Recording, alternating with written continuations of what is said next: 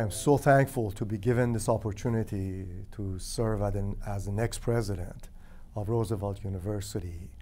Uh, this is an exciting time. There's lots of good work to be done.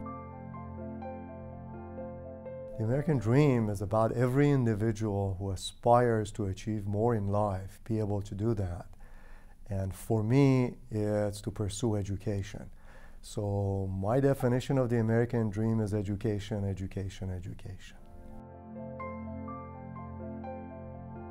Roosevelt's mission eh, resonates well with my own values. As an immigrant, I came to the United States to also pursue my American dream.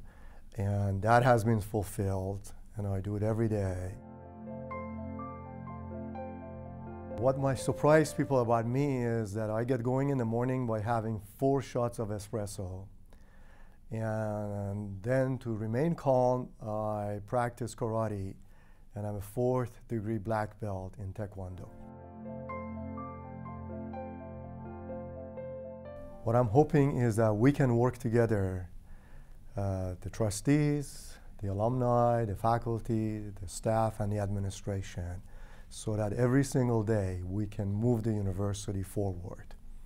And a few years from now, we look back and say we did it all together.